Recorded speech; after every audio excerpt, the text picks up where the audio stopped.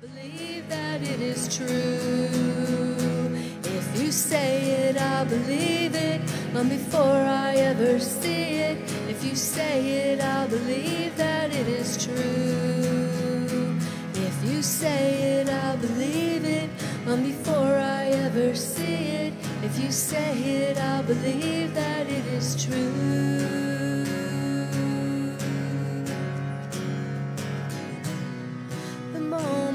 That you speak, the moment that you breathe, changes everything.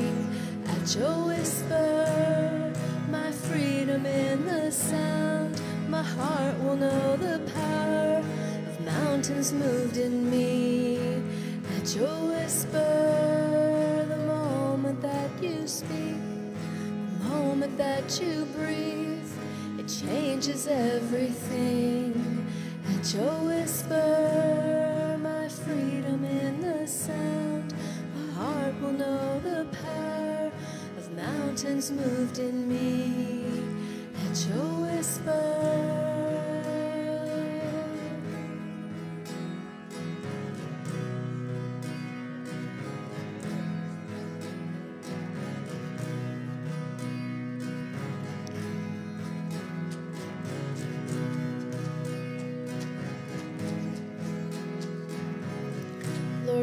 Mountains of unbelief. Lord, move the mountains of doubt.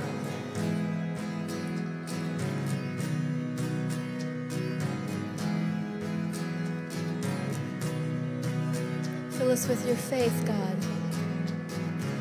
May we see the way you see. May we hear the way you hear. May we come into agreement with those things in heaven, Lord. And it will be on earth as it is in heaven. Align our hearts today, Jesus. Align our thoughts. Align our wills with yours, with heaven, Jesus, this day. Hallelujah. That you will be glorified in the earth, Jesus, as you are in heaven. You will be glorified in your people, Lord, as we live and move and have our being in you. Apart from you, we can do nothing, Lord. So we choose this day, Lord, to walk with you. We choose this day, Lord, to believe with you. Hallelujah. Thank you, Jesus.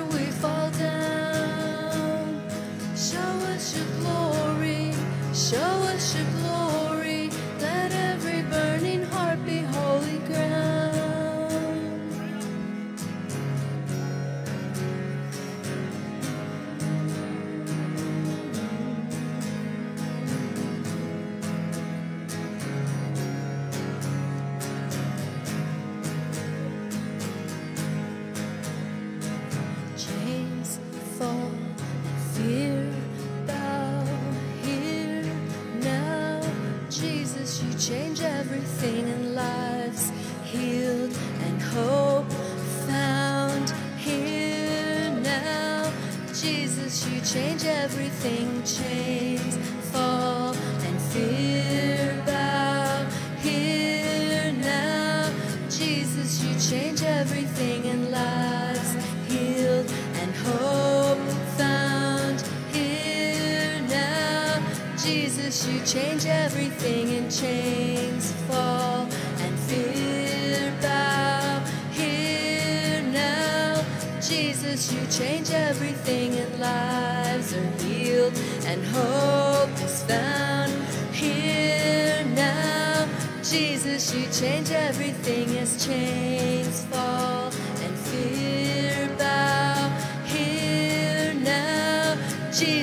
change everything and lives are healed and hope is found right here right now. Jesus you change everything. All chains will fall. All fear must bow right here now. Jesus you change everything and lives are healed. Yes and hope is found right here right now. Jesus, you change everything and chains fear bow here now. Jesus, you change everything and lives are healed and hope is found right here, right now. Jesus, you change everything. So show us your glory, show us your glory. In wonder and surrender, we fall down. Lord, show us your glory, show us your glory.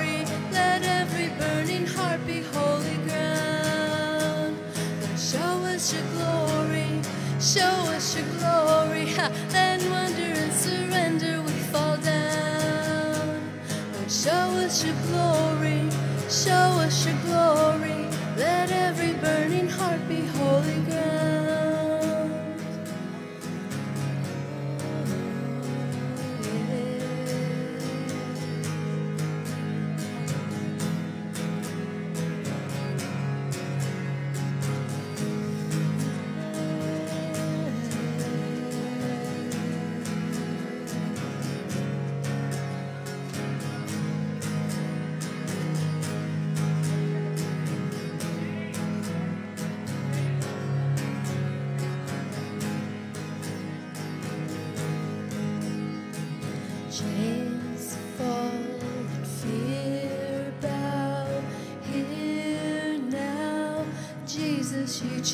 Everything in lives healed and hope found here now.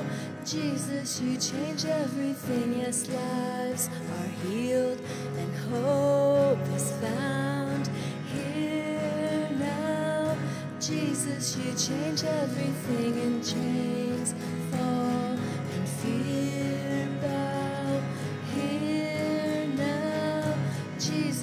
change everything and lives are healed and hope is found here now.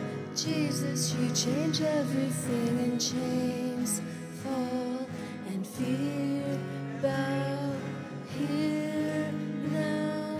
Jesus, you change everything and lives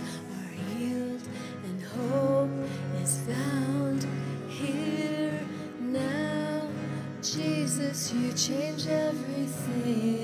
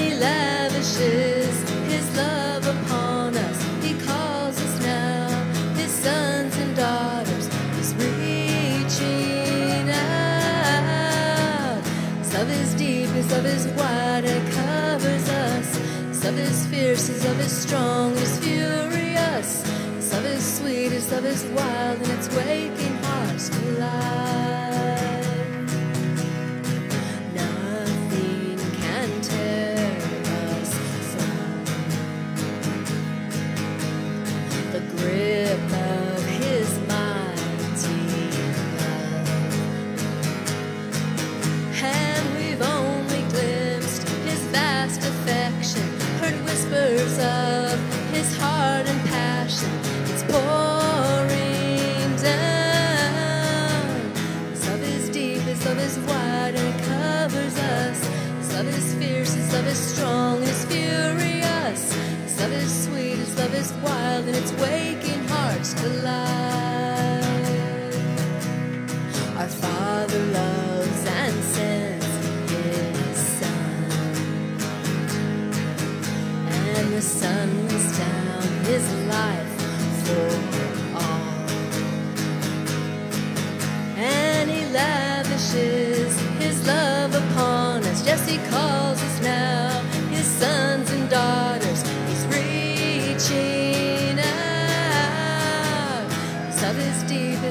wide it covers us.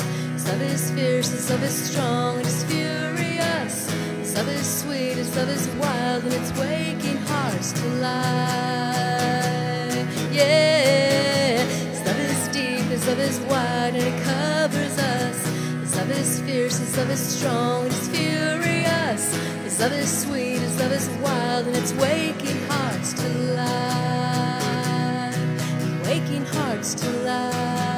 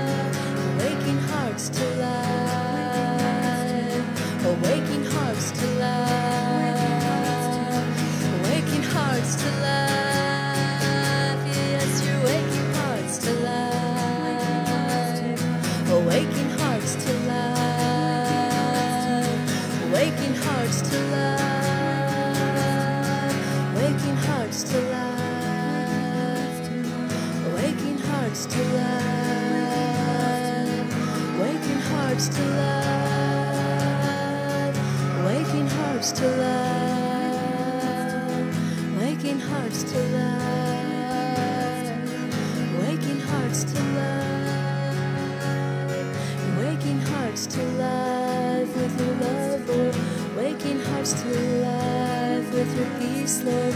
Waking hearts to life with your joy. Waking hearts to life with your truth, Lord. Waking hearts to life with your freedom. Waking hearts to life.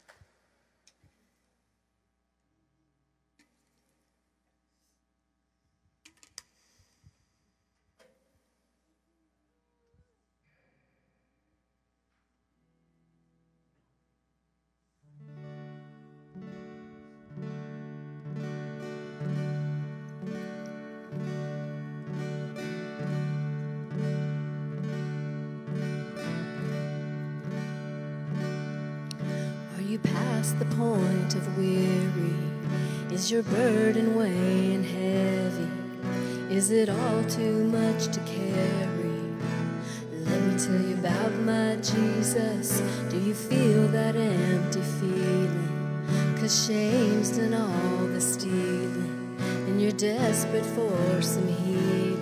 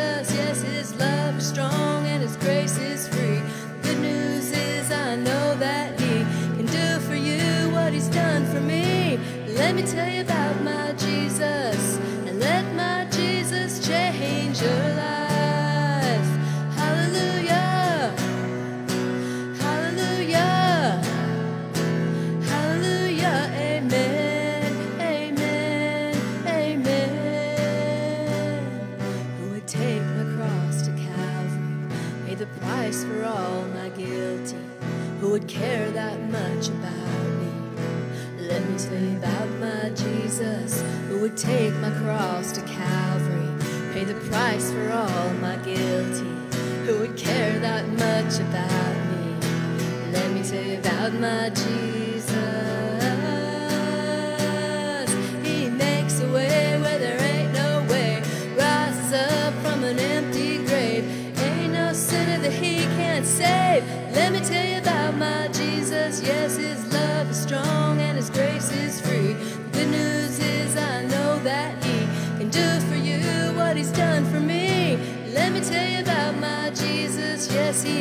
Makes a way where there ain't no way. Rises up from an empty grave. Ain't no sinner that he can't save. Let me tell you about my Jesus. Yes, his love is strong and his grace is free. The good news is I know that he can do for you what he's done for me. So let me tell you about my Jesus and let my Jesus change your life.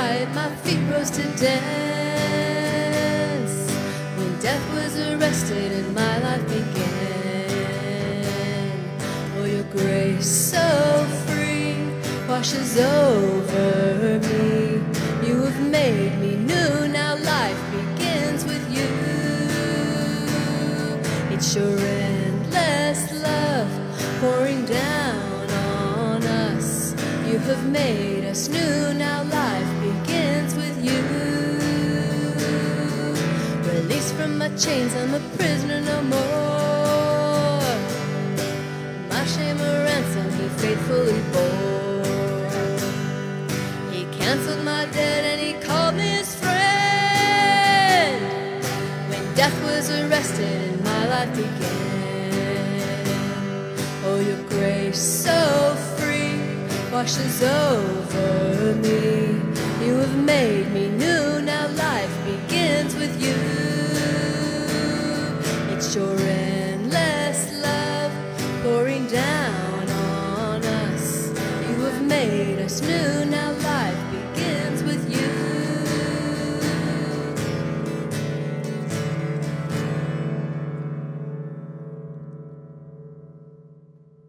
Savior displayed on a criminal's cross.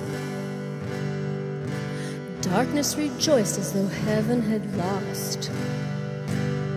But then Jesus arose with our freedom in hand. That's when death was arrested and my life began. Oh, your grace so free washes over me. You have made me new, begins with you. Yes, it's your endless love pouring down on us. You have made us new, now life begins with you. Your grace, oh, your grace so free washes over me. You have made me new, now life begins with you. It's your love pouring down on us. You have made us new, now life begins with you. And we're free, free, forever we're free. So come join the song of all the redeemed. Just we're free, free, forever, amen. When death was arrested and my life began. Yes, we're free, free, forever we're free. So come join the song of all the redeemed. Yes, we're free, free, forever, amen. Death was arrested and my life began. When death was arrested and my life began. When death was arrested and my life began.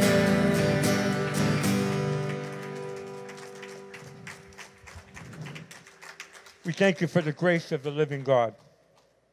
We thank you, Lord, for your Holy Spirit that comes and inhabits the praise of your people. We are free because of the work you have done, my Lord, upon the cross. By faith, we receive your work. And because of that, O oh God, we're new creations. And the old things are passing away, and all things are becoming new.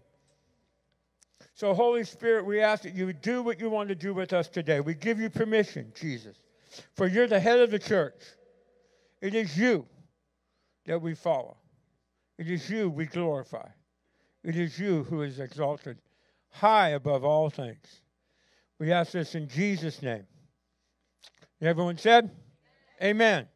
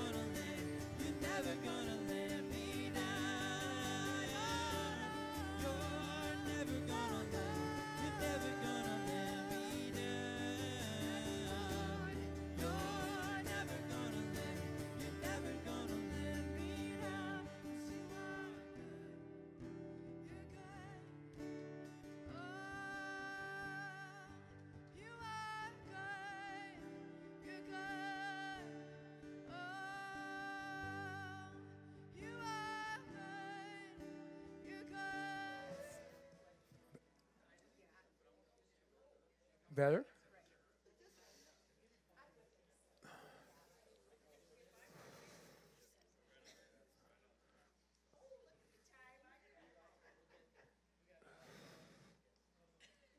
Okay. Um, couple quick announcements. Don't forget Embers Tuesday night at 6. Um, we're watching good things happen, of course, always, but 6 o'clock. There's a couple sign up seats in the back. One is for a Bible study that will be starting on January 19th that Pastor Paul is doing. Okay? And um, just a second, I will, if I can.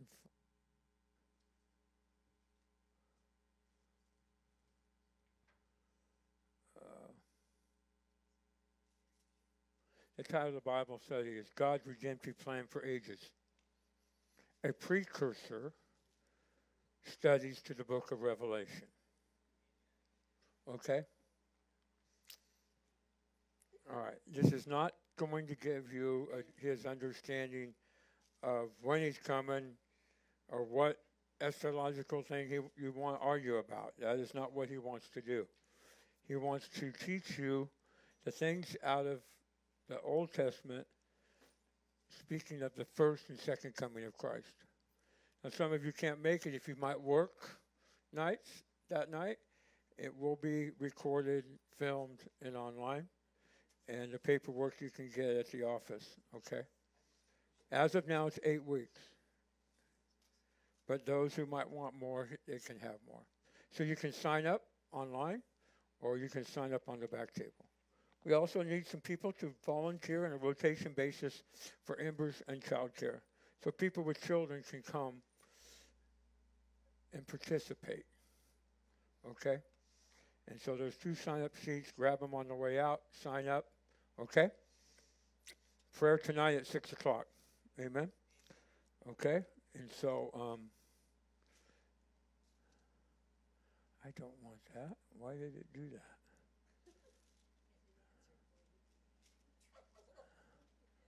Uh-huh.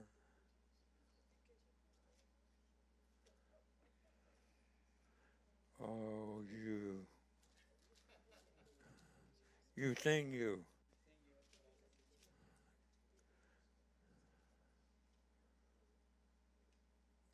Let's try it again. Huh. I don't want to get started. I want to go back to the page I wanted.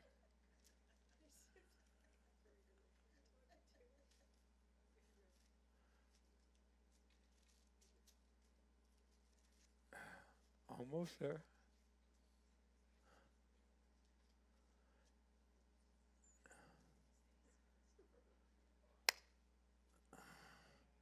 I got it.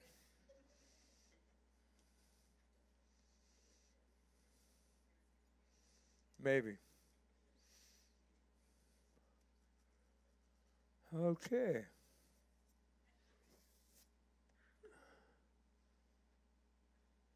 Got it. Let's pray. I've never seen your iPad do that before. Heavenly Father, as we come in the beginning of a new year, we ask that your Spirit would speak to us and your goodness of your word would explain things to our hearts and what you desire most from us, oh God. And so, Father, release your goodness over our city and over our region. And we, Lord, we desire an awakening of your church and those that don't know Jesus in 2022. In Jesus' name, amen. I was sitting there in prayer this morning, and then you begin to realize how old you are. 28 years ago is the first Sunday sermon we had in 1st of January at Zion Christian Ministries. So I realized how old I was then, because it was not hard in math to figure 20 off of what I am now. Okay. and as 28 years doing the same thing, and if I was to write down how many sermons I wrote on Sunday and Tuesday and Sunday nights, and all of a sudden now it's in the thousands and thousands. But the Word of God is new every day. And so when you start out, you know, you're a young pastor and you think you know what you're doing, but you really don't. And then you wish you knew what you were doing back then as you know now, but then hopefully in a year from now I'll know more because being a pastor is not your perfection, it's always growing into the perfection of Christ. So I think had time to think about and pray this morning as I enter in for this new year. So the title of the message today is what you choose in 2022. And usually I asked the Lord for a prophetic word or something for the year ahead to give on January, the first sermon of the month of the new year. And I felt that something that was shared with me by another pastor by the name of Eric Reed that was given to me by Joey as he where he finds things I don't know. Um, but it's a neat little uh, saying. You want to put it up, Joe? Most of us have chosen heaven over hell. Amen? But not many have, of us have chosen heaven over earth. Shabam bum ba. When I heard that a week or so ago, whatever it is, it just stuck in my heart. And um, I know how zealous I was 28 years ago, and and there's somebody here that knew me longer than most of you in those years, and my zealousness, and my fire, my knock down fences, and whatever I would try to do in my heart because of my love for Christ and what He did for me and what He saved me in. And so, not that I'm tempered, but I hope that I can share today as I prayed and thought about things. I've been privileged in the year of 1994 knowing in a personal way this love that God has for you. He loves you. And the way I learned it is not something I wish anyone in this room would have to experience. And then I, it went even farther today as I thought about how much Christ loved the Father, at the same time, how much Christ loved us. And it was a gift of Christ to us that I began to understand in 94, which I have not fully comprehended and probably won't until the day of glory. How much the Father loves us. And that day after my son died, when I asked the Lord why, he told me the pain you feel in your chest this grieving moment is what I felt when I gave you my son. And it was a point I never really grasped as a Christian at that moment. It was out of this love for us that the Father felt this pain. It's a real pain. If any of you grieved over anyone's loss, family, brother, whoever, mother, father, grandparents, it's a real grieving moment, and the scripture tells us that we are to mourn. There is a season of mourning, a season of rejoicing, and it's real. And so, therefore, this love for us is hard to comprehend when you experience that. Okay? And so, when you've experienced this love, just a little bit that we may have experienced in our salvation, it's hard to then see how this saying, but not many of us have chosen heaven over earth after we've chosen heaven over hell. And that seems like an easy thing to choose if you really get a picture of hell, get a picture of heaven. So there isn't too many who really gained the revelation of Jesus Christ want to choose hell. There are some. Why, I don't know. And why people choose what they choose, we don't really know the heart of all, but only the Father does. But today's message is what has God been doing and what does He want for us as a believing church to do? See, Scripture says heaven is past, heaven's here forever, but the earth is passing away. And so we can watch the news, we can watch everything that's going on, and see everything in turmoil, everything going on, but heaven doesn't change. And I'm hoping to give you some scriptures because we've watched some mighty things specifically over the last three or four months. People being healed, people being saved, people being baptized, seeing people who are supposed to be in the grave aren't in the grave. We've seen a touch of heaven not in the fullness of what could be, but something maybe to get our attention. I really believe Jesus is always trying to get our attention. He's always trying to, hello, I'm here. And we're so busy at times and we are so stuck in some things in our head that we miss Him. I know I have.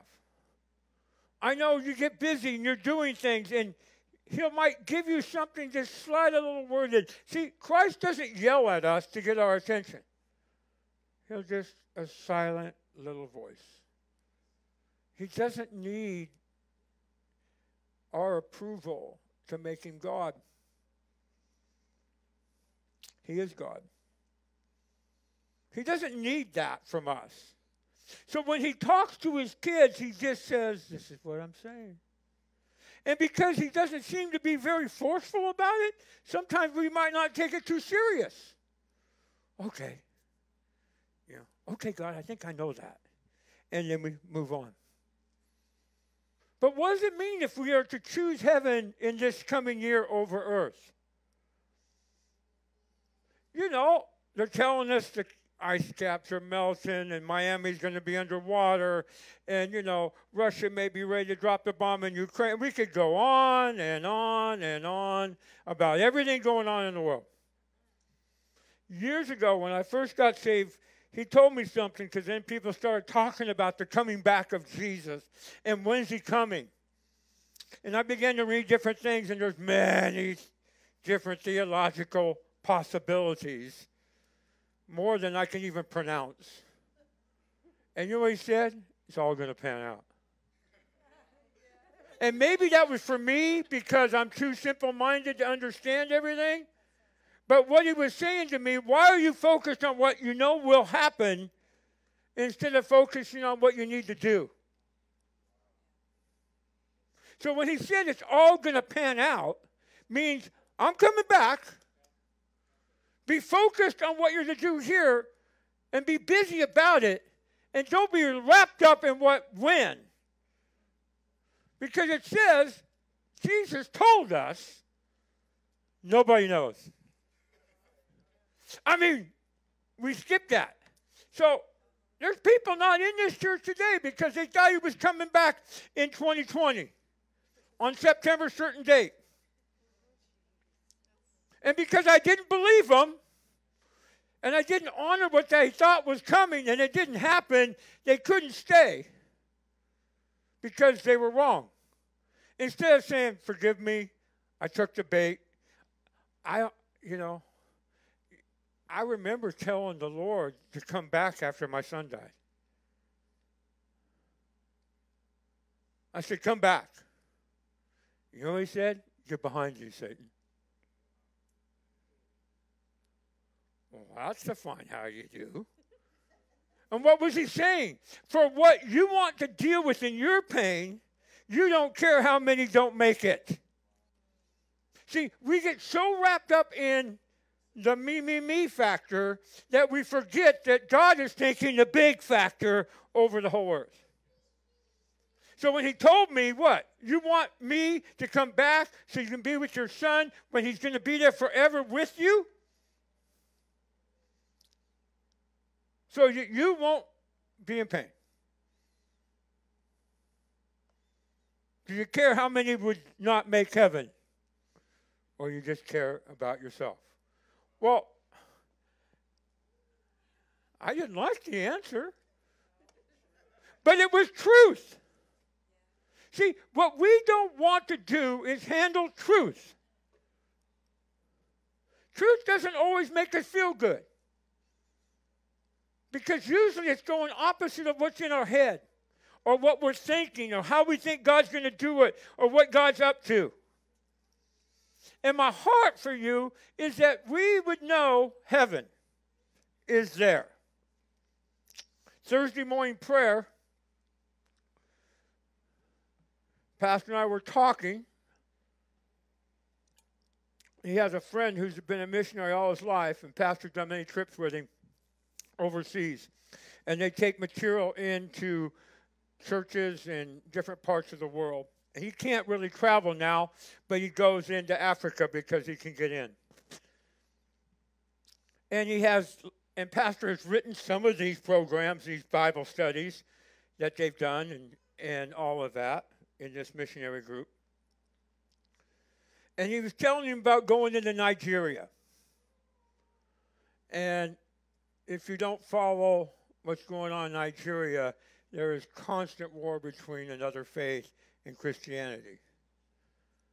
And in that other faith, they are killing kids and women and raping and pillaging and all of that. And the church, one church he works with, has lost half of its members either through murder, women being stolen, children being grabbed up and put into an army to fight for the other faith. And so he has these 20 different programs and Bible studies he could give them to train them up in the Word. And there's one thing they want to know, and they pick one study. You ready? What's heaven like?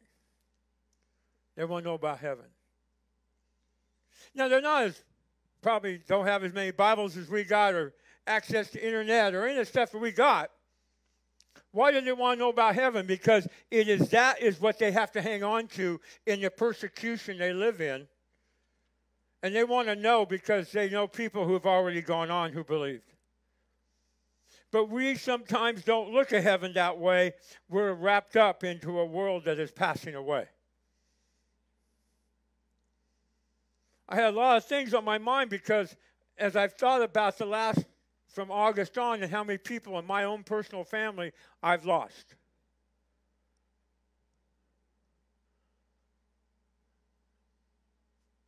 Sometimes you get tired of getting the phone call. Well, how do you do it, Pastor? My focus is on heaven. Do I grieve? Yes. Do I mourn? Yes. But I can't live in it because I live in heaven.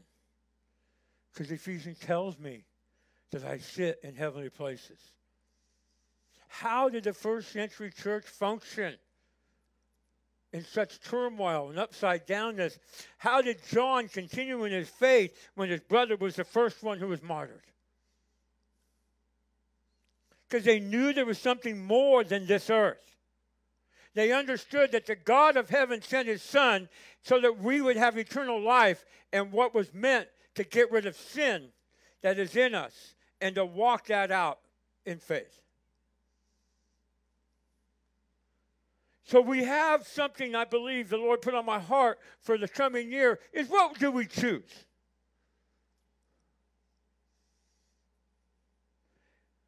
Do we choose Christianity that just makes it comfortable so that we'll be comfortable?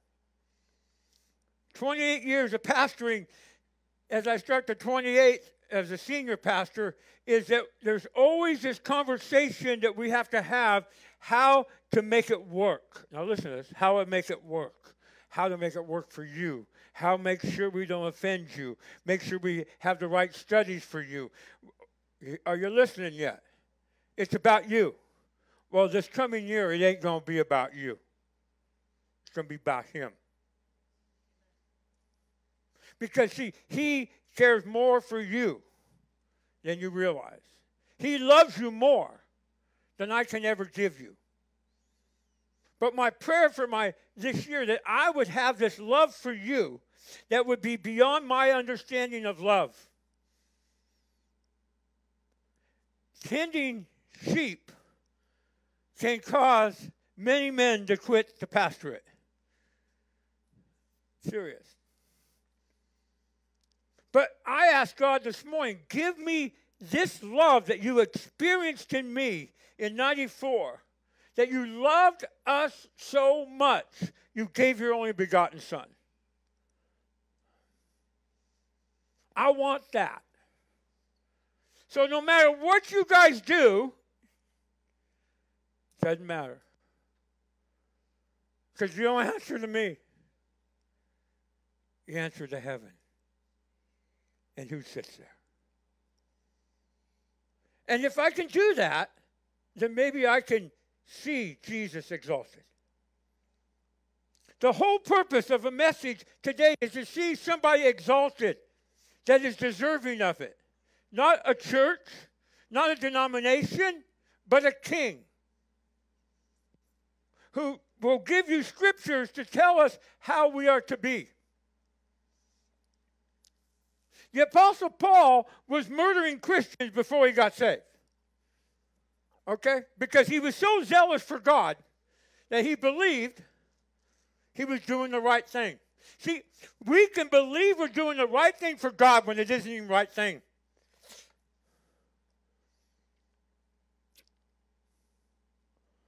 He was zealous.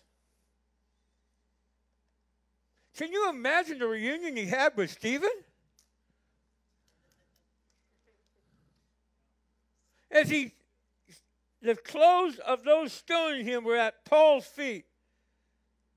And Stephen looked up and saw the throne of God, Jesus stand up, and they stoned him. And then Paul realized what Stephen saw was real, because then he met the Lord on the road. Are you ready? This we're all going to be shifted in our realities, people. We're all going to be shifted in what we really see here when we get home and go, "Whoa! Did I think I had it all together?" But this is what Paul wrote to the Philippians. Not that I have already attained or am already perfected, but I press on, that I may lay hold of that for which Christ Jesus has laid hold of me. Brethren, I do not count myself to have apprehended, but one thing I do, forgetting those things which are behind and reaching forward to those things which are ahead. I press towards the goal for the prize of the upward call of God in Christ Jesus. He had to deal with what he did. You understand? He had to deal with the people he threw in prison, the ones he murdered, because he was doing a zealous thing for God. So when I reflect back 28 years of pastoring, I know I failed many times.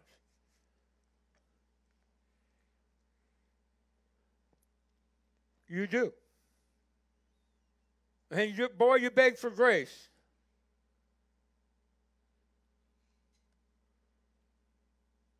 Because, see, I don't answer to you. I answer to Jesus Christ. And I don't know about you. I don't know who your bosses are. But I know mine is righteous and pure.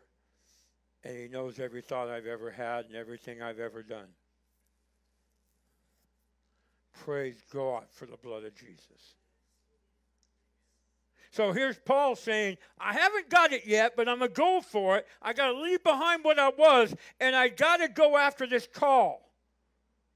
And you say, well, he was an apostle. Well, you have to know the Word of God says everyone in this room are called, if you're a believer. We're all called to do different things for Jesus, whatever they might be. In the same passage, then he gives us what really is important in chapter 3, verse 20 For our citizenship is in heaven, and from which we so eagerly wait for our Savior, the Lord Jesus Christ. When you are born again, you're now a citizen of heaven. And we know under our Constitution, if because I was born here, I now am a citizen of the United States. Kind of interesting, huh? And so in most nations, wherever you're born, is that nation is where you get your passport, and that's who you belong to, that nation. But news to you is you've all been, if you, let me look around. I think all of you have been born here in this country, okay? But now, if you're born again, you're born into another nation. See, because we still live here doesn't mean we're really a part of this place anymore. We're to do the work of God because my citizenship is in heaven. One thing he's put on my heart is that we would become a congregation that comes into this building not with what we can get, but who we can worship. See, A couple weeks ago, someone was worshiping. I won't give the details of their healing because it's personal. and where the part of her body that got healed. But no one prayed for her. We're just worshiping, and she was just having some pain. And she was tired of the pain because it interfered with her worship. So she just boldly said to God, God, I can't take it. Take the pain. I want to worship you. Pain left.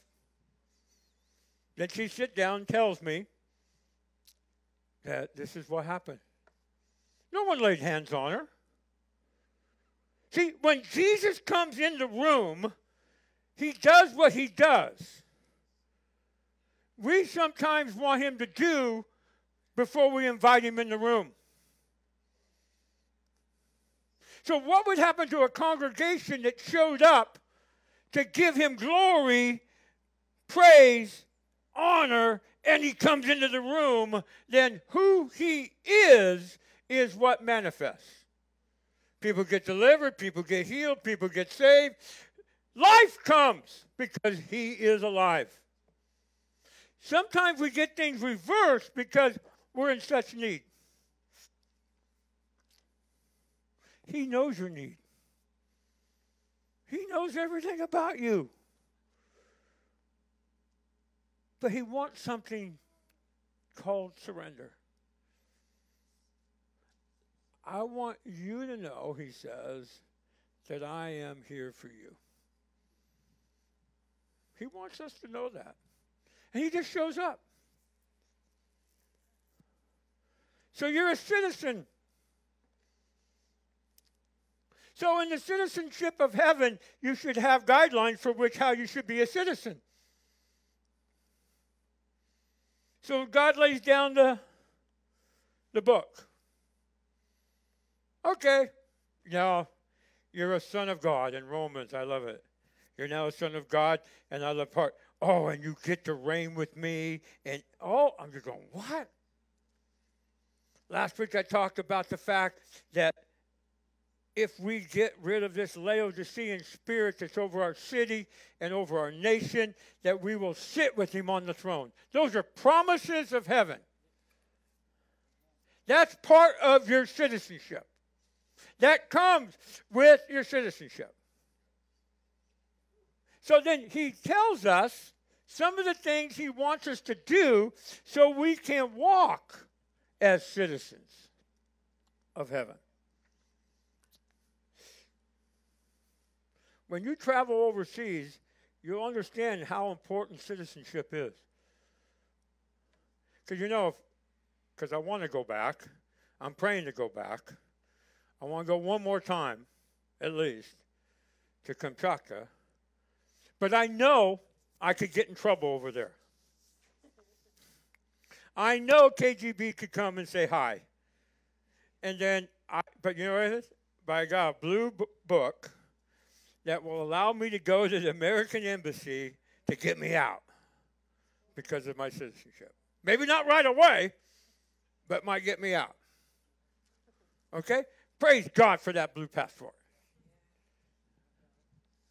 But I have another passport. It says, I'm marked and sealed by the Holy Spirit. And now all the heavens knows that I'm a Christian. And if you are, all heavens know. And all darkness knows where your citizenship lies. Because you're marked. As soon as you confess, there it is. So then he now wants to give us some guidelines on how we might go after this heaven thing on earth. Matthew 6, 19 through 21. Don't lay up for yourself treasures on earth. What? hasn't Jesus seen we can make a lot of money on the market? What is wrong with that guy? Lord, give me the proper when to buy, when to sell. Oh, I know Bitcoin. All these different things where we can.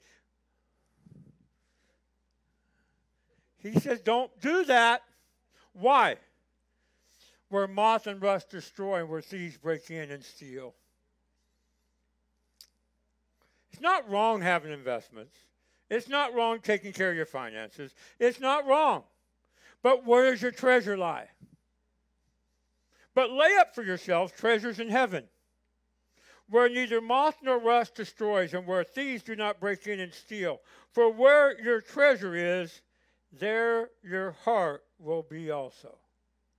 Ah, oh, man. This, you know, this is coming out of the Sermon on the Mount, and this is not really good for American Christianity.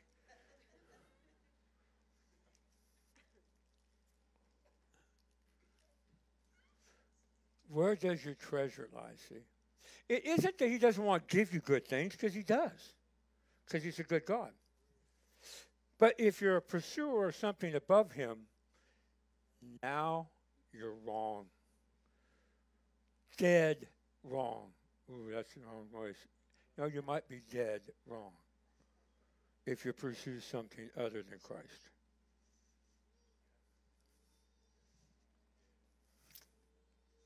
He, he wants to provide. That's what he says. But he's telling you ahead of time if you put your treasures of what's on earth, you will not receive the full treasure of heaven. I've seen some awesome things over the last two or three weeks in ministry. And some of them I may never see again. But we did what we were supposed to do.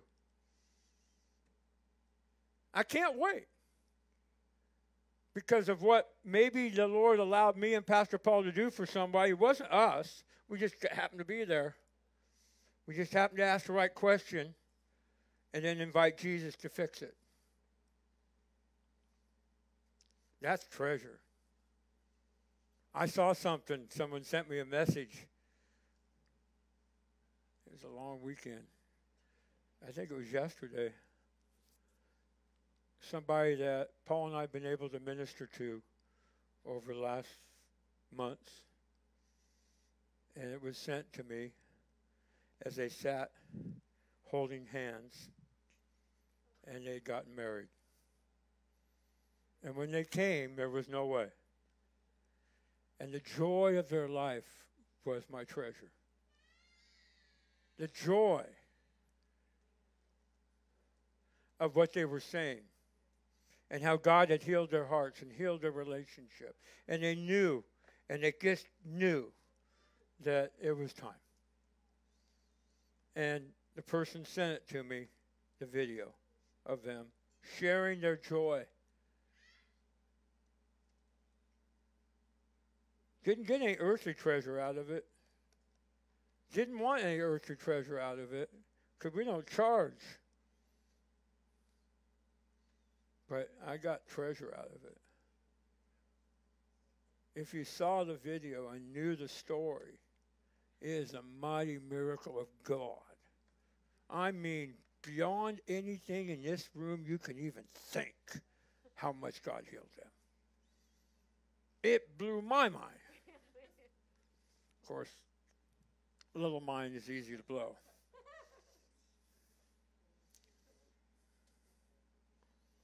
Where's the treasure lie?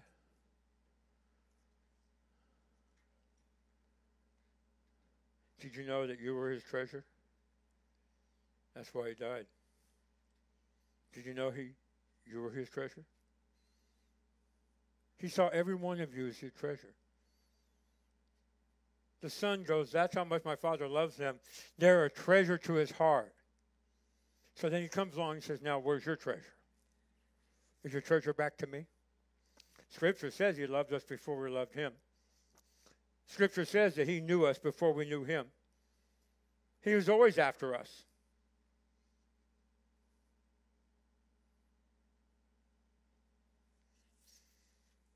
And this is how we live with a heavenly perspective in 1 Corinthians 2. But it is written, Eye has not seen, nor ear heard, nor have entered into the heart of man the things which God has prepared for those who love him. But God has revealed them to us through his Spirit, for the Spirit searches all things, yes, the deep things of God. Sometimes we don't see right away what God's going to give us but he has such joy to give us. Why would he hold back from us when he gave his only begotten Son? He gave the highest gift. So why would he hold back from us?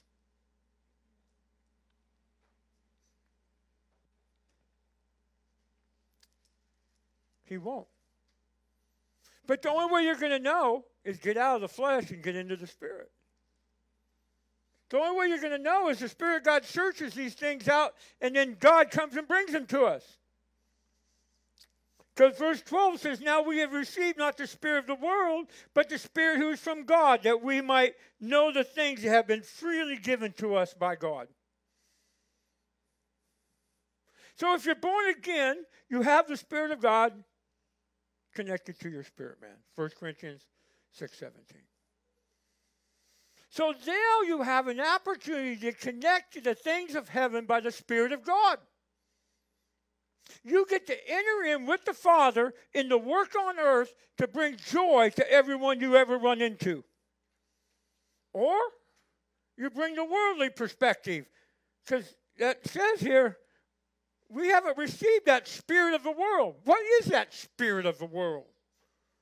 Well, in Ephesians chapter 2, it talks about the dark one, the one you all sat under at one time, that now you don't sit under.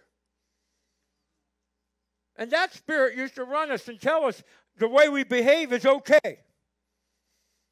It's okay to hate somebody, okay to, to go and do anything you want to do as long as it makes you happy. My generation grew up with this lie. Well, what we do ain't hurt nobody. That was a hippie movement. I'm getting high, it's okay. I ain't hurt nobody till you ran over somebody till homes were broken and families were destroyed, till children would grow up without any hope. But see, we bought that lie. We really weren't hurting anybody, but we were hurting ourselves and not counting all the people that loved us. So God says, I've given you something other than the worldly spirit. And so today's message is what do we do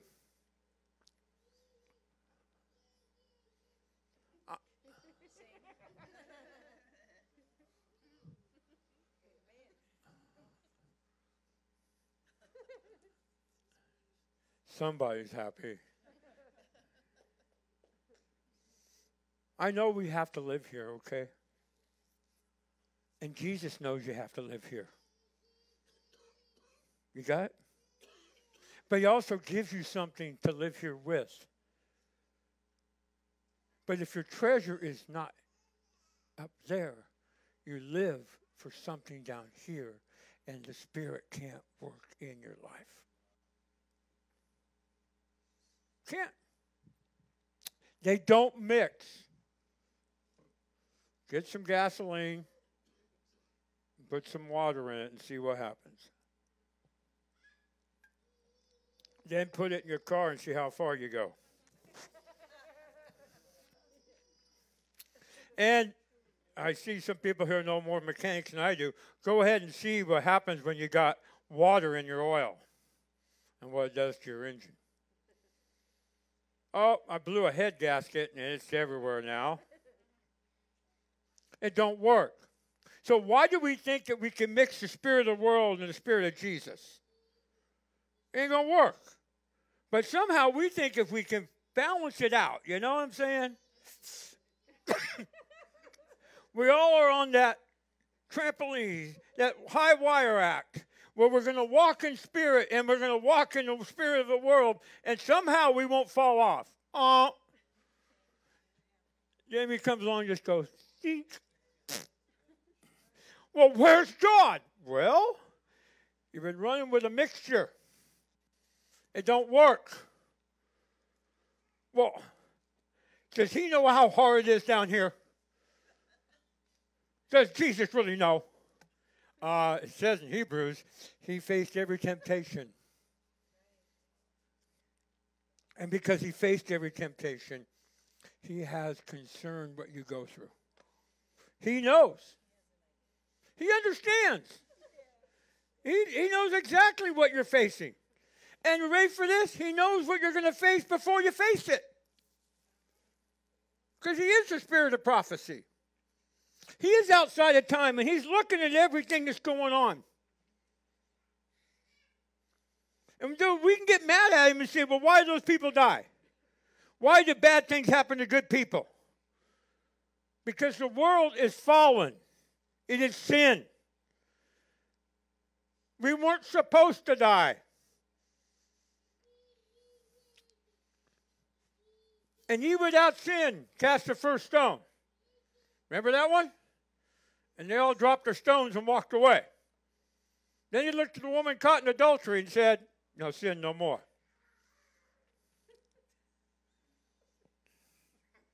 Emma.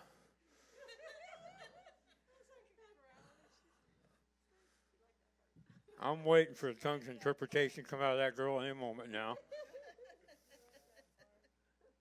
and my premise is this what will we choose, and then what fruit will come from it?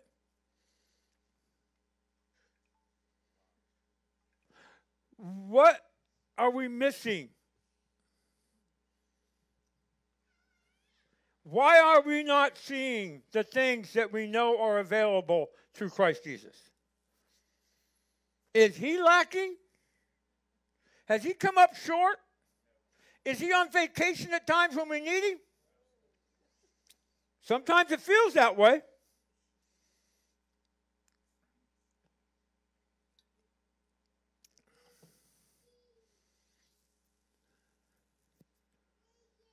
And he knows it feels that way for your heart. Do you ever wonder how Jesus knows what death is if he has always lived eternal? He had a stepdaddy, didn't he? Joseph. We know he was in there in the beginning of the gospel. Where the chickens was he when ministry came? No mention of him. You know he wasn't there because when Jesus was crucified, he turned to John and said, Take care of my mom. Where was Joseph? Joseph had died.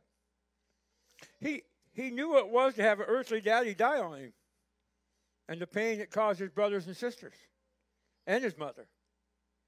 See, he knows what death is. He knows what we go through when we lose somebody. So he's the only one who can come and really comfort. He's the only one that can really step in because he has experienced everything, but he comes at it with righteousness and a true spirit to heal us.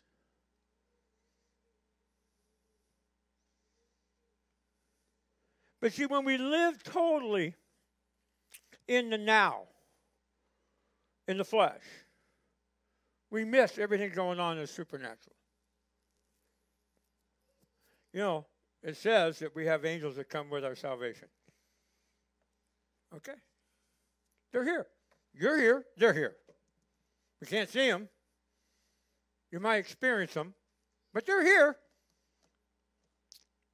So he Paul gives us an understanding of sometimes where our focus is shouldn't be and where we need to focus. 2 Corinthians 4 16 through 18. Therefore, do not lose heart, even though our outward man is perishing, yet the inward man is being renewed day by day. For our light affliction, which is built for a moment, is working for us far more exceedingly the eternal weight of glory. While we do not look at things which are seen, but the things which are not seen. For things which are seen are temporal, but things which are not seen are eternal. So when you're bound to the world, you're living in a temporal moment that's going to go away, and you're missing the eternity. So when Pastor shared about his missionary friend and when he goes to Africa, that those who don't have all the knowledge we have, don't have all the instruments that we have, but they have Christ and they're dying for the gospel, their hope is heaven. Because their world isn't good. So when they when we went to Mozambique and the joy of building a well becomes the village's excitement. They're not packing the water on their head anymore every day. They can go and pump the well. And we're, we're civilized over here. But they got more of Jesus and his miracles than we do. Why? Because they're living not in the temporal, but in the eternal. They know spirits. They know the unseen world. They know about witch doctors. I read an article that the whole world is shifting after the paganism of Rome and its fall of Christianity rose up. That now, the, this is what this author said. Now the world's going back to paganism. It is. Why did Harry Potter make so much money? Why? Oh, they're just having fun, no. I remember our youth pastor at the time went to see it, and there was a kid that went into the movie, the first one, was having seizures on the floor in the bathroom and came out from watching that movie because the darkness that was being released. But see, we don't see that, so we don't, uh, you know. Why don't we see it? Well, he says because you're looking at temporal things and you miss the eternal things.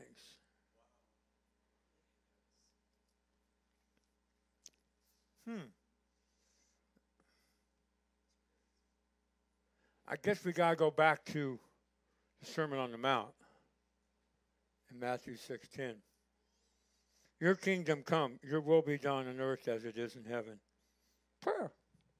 All right, Jesus, we see you praying all the time to Dad, to the Father. Teach us how to pray. Okay. All right. It wasn't a 45 minute prayer. A few verses. You realize that's the only prayer they had before the scripture was written? They learned that prayer and they recited that prayer. And one of the parts of that prayer is, Your kingdom come, your will be done on earth as it is in heaven.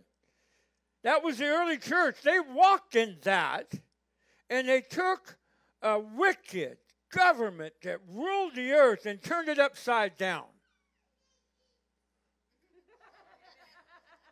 That's right, Emma. Turned it upside down. And we're trying to build our own kingdoms here. Did you know that every nation will bow its knee? Now, Pastor, you're getting too close. Do you understand how good we are here?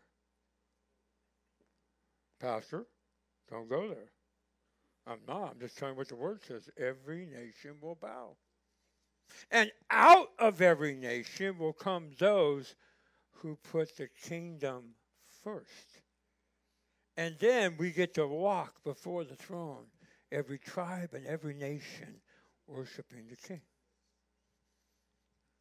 Where's the rest of them? They didn't choose heaven, they chose hell. But I think if we choose heaven, my heart desires to see hell plundered. I mean, plundered. I don't think we could even imagine this. Ready for this? We pray, kingdom comes, we're seeing experiences of God, and then we start driving around and people are in the gutters on their knees repenting. Fathers repenting to their wives and wives to their mothers and all these things going on and actual kingdom eternal things happening. But no, we have to create structures to protect children and protect the elderly because of sin. So I want his kingdom to come on earth. We're not going to get it all. Wish we could, but we won't. But then he says, Therefore I say to you, do not worry about your life, what you eat or what you will drink, nor about your body. What you will put on is not life more than food, and the body more than clothing. you know, it was a tough time at Thanksgiving because we just didn't have the ships unloaded for Christmas. Came headlines in America. We're short being able to buy things. See the world. What are we going to do for Christmas? How are we going to make people happy? You know, buy kids toys and they love the box.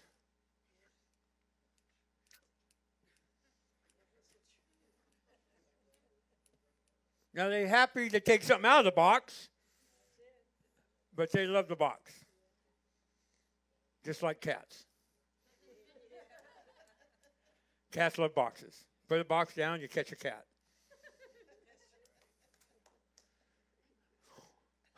Why do we worry when he says not to? Why are we concerned? That's the spirit of the world. Did you ever think the head warrior is Satan? He's worried all the time. When's he coming?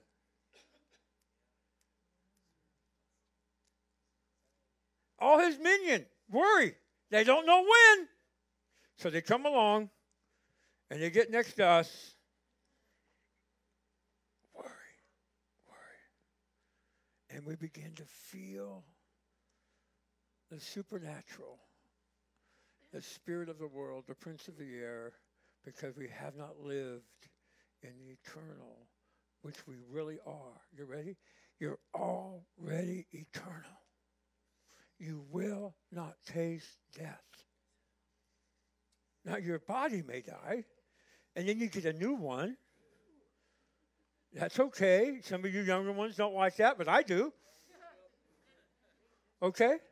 Why is it all of a sudden, have you noticed over the last four or five years, all the different movies coming out of people testimony about going to heaven and what was like and the miracles and, and what's heaven like and the thing, why? Why would God begin to do that?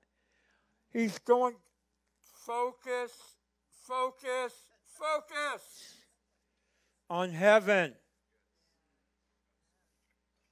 Then he says, but seek first the kingdom of God and his righteousness.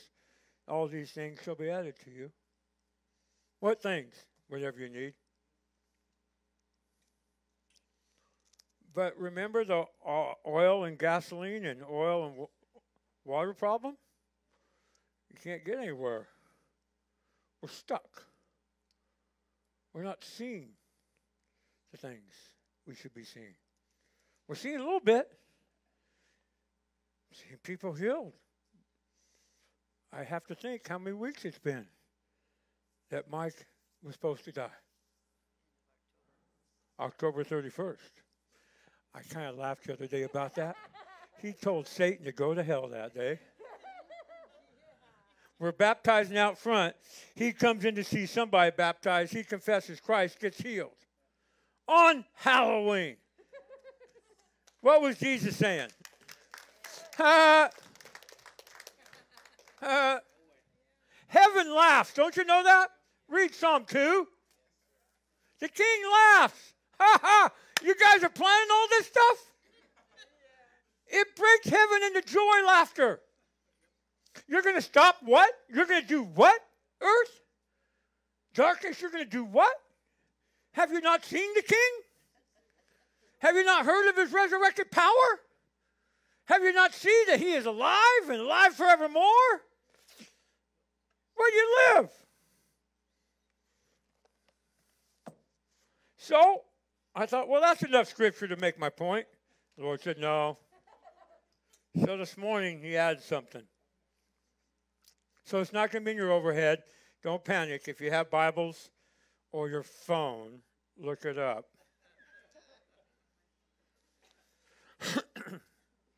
Colossians chapter 3. Amazing. He dropped that into my mind when I'm sitting there praying, but I didn't write it down.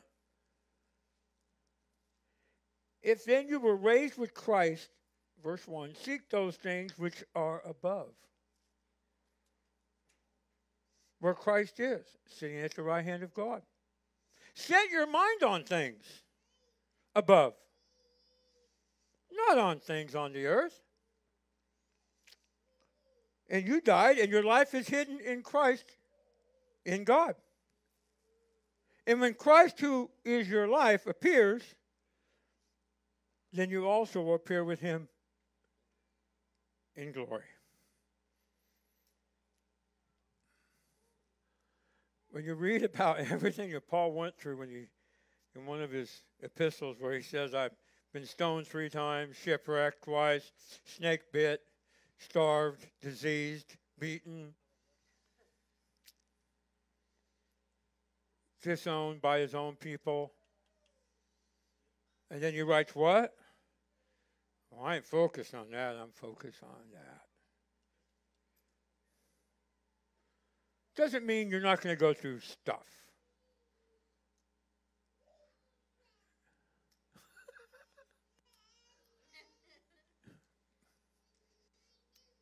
She's never noisy until she comes to church.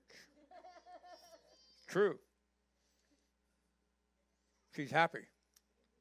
She likes the Spirit.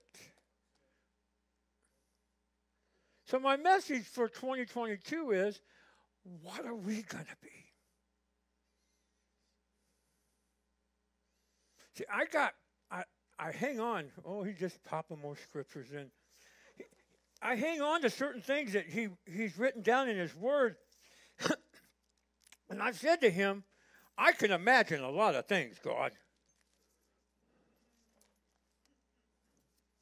I can imagine a lot of things.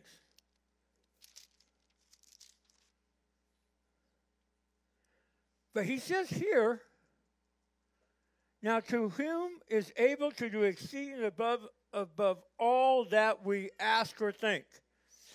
I can't wait to get to heaven and have a conversation about that passage. I can think a lot of things. I I was praying to say, thinking, wouldn't it be awesome that some paintings in this city would melt off of a building? Just all of a sudden just start to run off, like just run off and all to be a puddle of yuck. And people go, well, who did it? The God Almighty. They would investigate. And why do I ask that? Because we can have them do their devil stuff right in our city and nobody cares.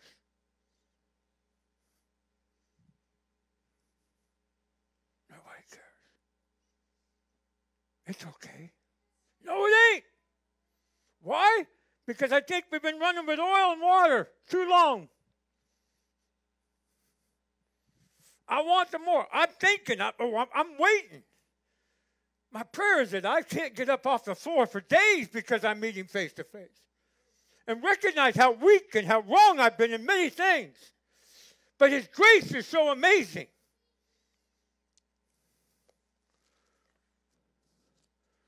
So I went to a scripture this morning for you guys and prayed this for you. But first, I prayed it for me.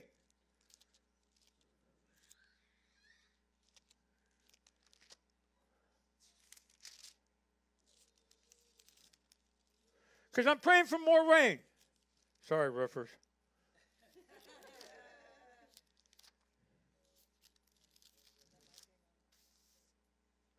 This verse came to me. And this is I prayed for you and me. Lord, according to your word, it says, Have mercy upon me, O God, according to your loving kindness, according to the multitude of your tender mercies. Holy moly. He doesn't have tender mercy, he has multitude of tender mercies.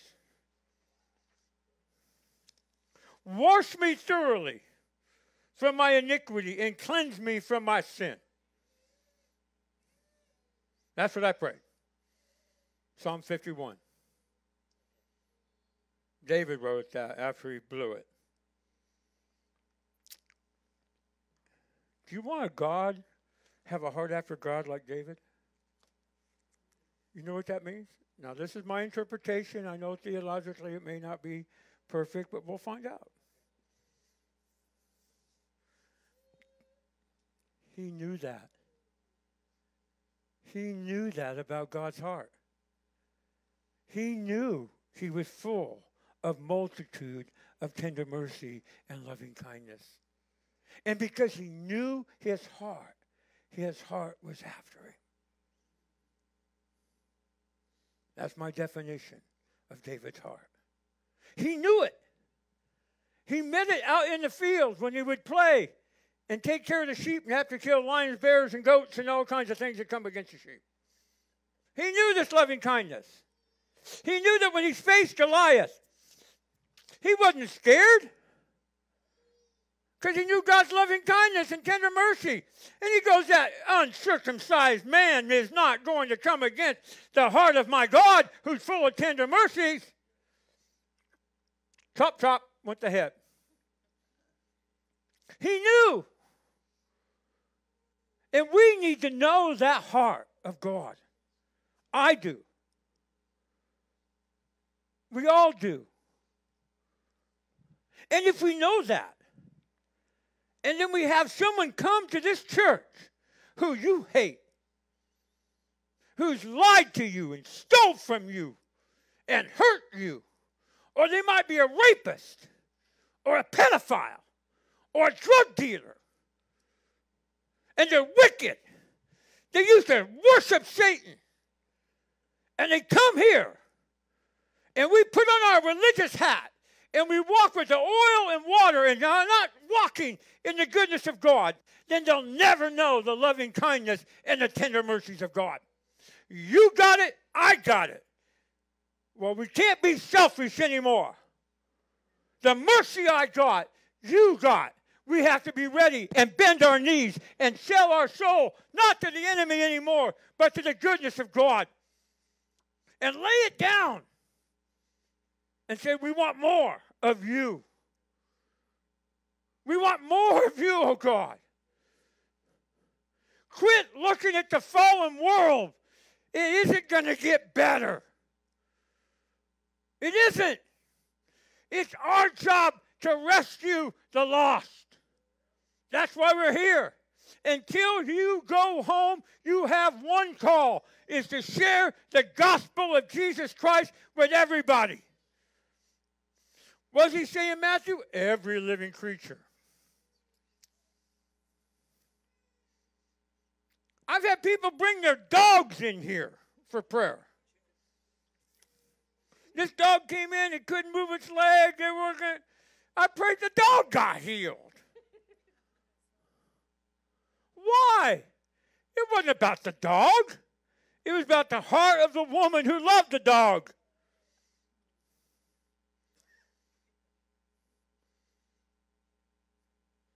My wife's grandparents had a horse, and grandma grew up on a ranch with horses, and they, they were on them all their lives. And they're still raising horses back there in South Dakota. And they had this horse, arthritis, and they dug the hole to put the horse down. And Kristen said, Go pray for the horse. I've never been around many horses. So I went and laid hands on the horse. Put my hand on its head and put my hand here, and I said, Arthritis, go. Bring freedom, bring healing to the horse. I had no faith at all to do that. How many more years did the horse live? At least five more years.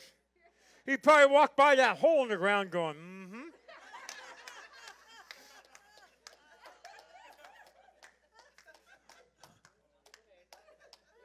But you know what would happen if I ever went out there to that property? That horse came to see me every time and would bow its head into my hands to let me pray. People, if horses can get it, what are we going to get it? It knew. We were praying New Year's Day. Me and Kristen, and pretty soon we had a whole congregation around us. The dogs came, the cats came. Thank God the turtle's asleep and hibernating. And we're trying to pray, and these dogs are all getting up on us, and the cats are running and purring on. See, it's the spirit of heaven that they know the difference between light and darkness. We're clueless, they're not. But what if in 2022 we catch a clue? What if we really catch who we really are in Him?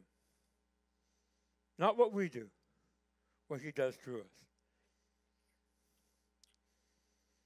I still, when I talk to Mike, it isn't the healing of cancer that's so amazing. It's the gentleness of his heart. Okay, Lord.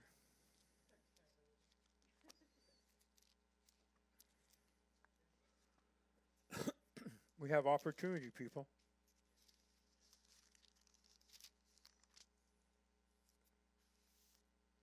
We have opportunity. So when I listen to food allergies being healed and minds being healed and cancer being removed and people's backs being touched in places we can't talk about and all kinds of other healings that have taken place.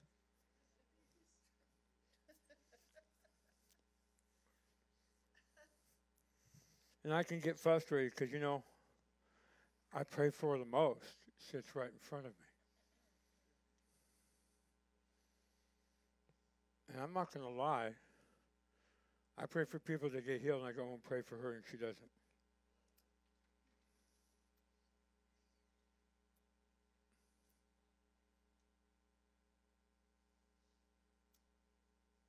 I have to live in heaven. I have to stay faithful. So, for every objection you got, God's got the answer. He's not afraid of your objections. You might be afraid of his answer.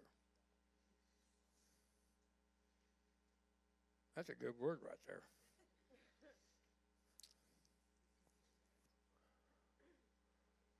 So I asked the Lord, what prophetic word do you want me to give him besides they feel like all beat up now and they're not doing right? They, you know, that's not what the message is about. It's calling you in doing right. It's behind you now. That's last year. It's behind you. Go back. You want to go back and live that mess? Huh? No, we got a new year. He's a God of new beginnings. So for, to build my faith, I just pulled one chapter out of a book I've been reading off and on. Man. And I asked God, I want to experience that. And he said, You have, but you didn't know it. This pastor was praying for this girl to be healed, a friend of his who was a pastor. And he gets word that the girl dies. And the dad never took the girl to the doctor because God told him, I will take care of it. Now, this pastor of faith who sees many miracles is very upset, going, What the heck's going on? She's dead. So he gets in a taxi. This is in 1940s. Goes over to the house. This is in South Africa. And he wants to make sure she's dead. So he goes in the room. She's dead. Been dead for days and days. And they get ready to bury her. They're digging the grave outside. But he said, I'm walking along with this heavy heart. And people who knew the pastor were cursing me because he didn't take her to the doctor and say, Is this the kind of faith you got? Is this who Jesus is? And he said, All of a sudden, something happened and I have his presence on me. And I couldn't hear him anymore. I just kept walking. And I, just like in the story of Lazarus, two women come out to meet me. One said, If you'd been here, this wouldn't have happened. The other was had no faith. I walk in the room. And there she is. And I'm overwhelmed by the presence of God. And so what does he do? He lays on her like Elijah laid on his dead person. And as he lays on her, she begins to breathe. He slides off of her. Now she sits up. People were freaked out. The mom and dad ran out of the room. She crawled over, and all she could do was lean against the wall. He was so undone by this magnificent glory and the presence, he couldn't walk for three days, the pastor, because he experienced the resurrection power in his body in a broken way. They had to bring him food for three days in bed because the pastor couldn't even get up. And the girl got stronger and stronger. And then he began to take her to other churches. And she would begin to give her testimony. And people would leave because they couldn't take the glory. They couldn't take her testimony. Now, listen to that.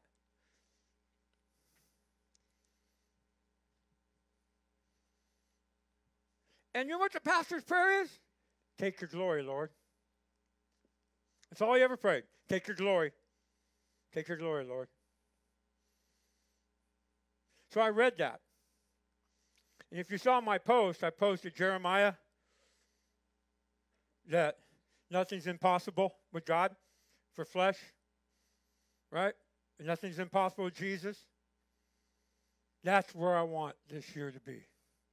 That whatever stands in front of you, whatever wants to hold you back, whatever wants to come against you, that nothing Nothing is impossible with God. Nothing God can hold back from us. Nothing. Nothing.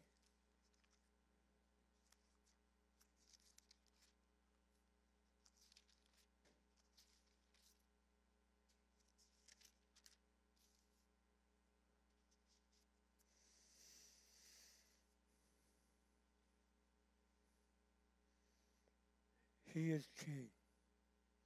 He is Lord. It's time that we really believe in what he says.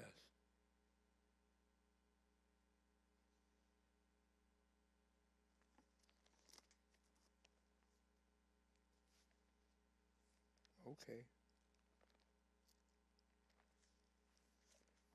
This is the word for Zion for the year.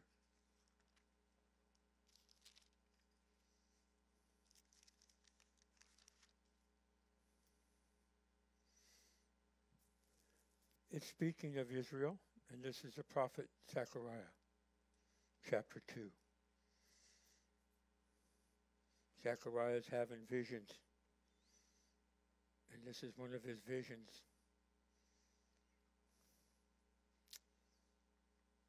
There's a measuring line that he says goes out.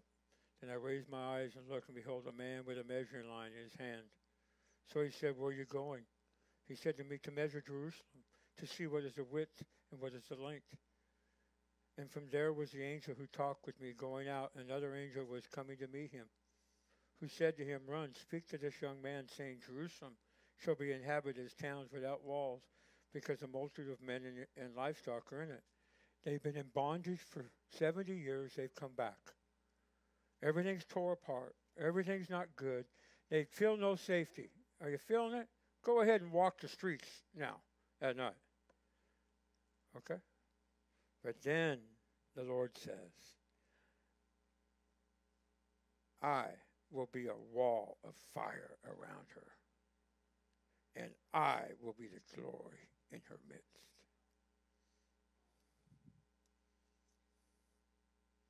We experienced that a couple of weeks ago on Tuesday night.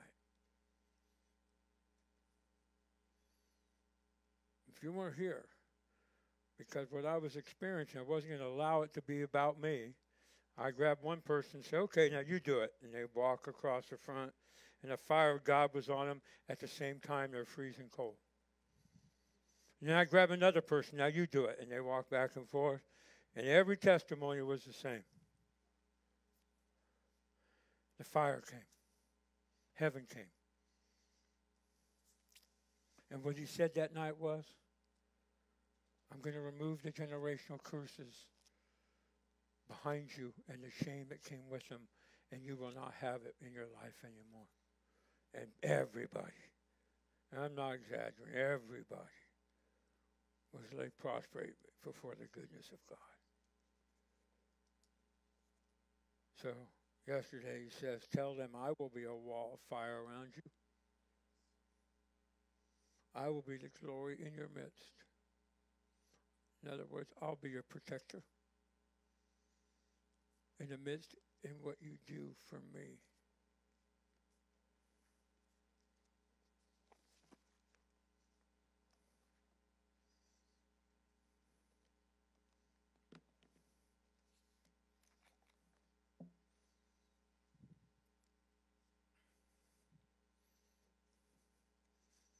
What you choose?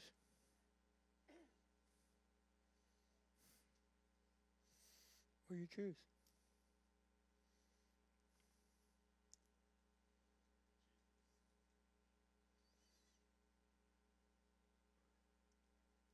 We are to do it perfect.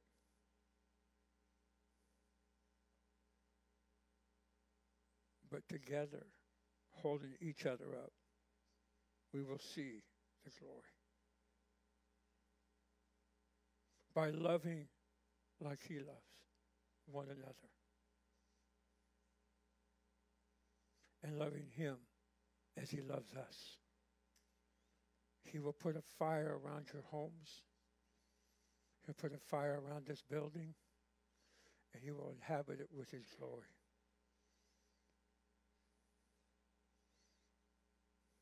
What do we choose?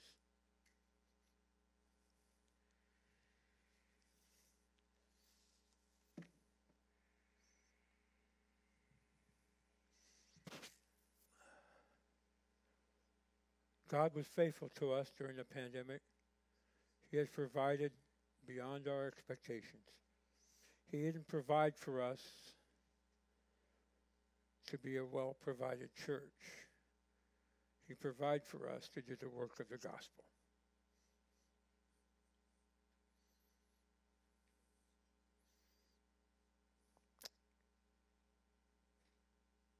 Jesus says, The battle is mine.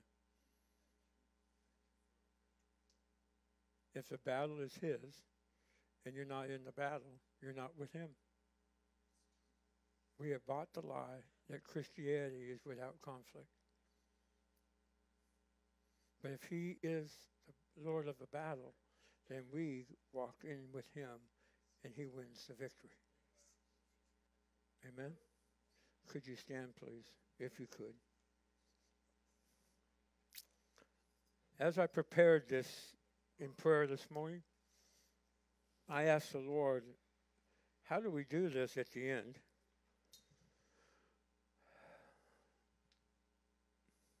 And I don't want you to make a vow. God, don't make a vow. Oh, don't make a vow. Scripture says, let your yes be yes, your no be no.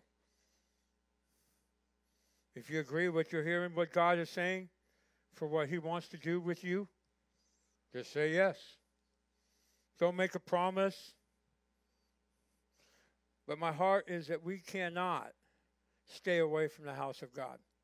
We can't help but give Him glory for the miracles He's doing in our lives. We cannot help but be in the house of God, not because it's a religious thing to do, because we're so much in love with Him, because He first loved us. Did you know that we'd have so many more people here if I would just submit to cut worship in half. Do you know that? No, I'm serious. Pastor, I really love it, but you know you, you go a little bit long. and that worship, oh my God, you know, it could go 40, it could almost do an hour, Terry. Oh my God. I've had them tell me over and over again. Okay, so here's the deal. I want to have as many people in here as possible. So I'm going to do what makes people happy. Bah humbug. no way! I was delivered. I was born again. I didn't seek him, he sought me. I will not bow my knee to the spirit of man. And I want to bow my heart to a king who loved me when I was unlovable. That I wasn't worthy of grace, but he gave it to me. Why? Because of his love in kindness and multitude of tender mercies. I cannot give that up. It's only been 28 years. I want another 28, whatever it takes, to see God take my city and make it holy and righteous, full of glory, every Masonic curse broken, every satanic worship broken, and that Jesus and the kids live at peace. So let's call it what it is. Hell is hell and heaven's heaven. What do you want? See, what do you want? Let's pray.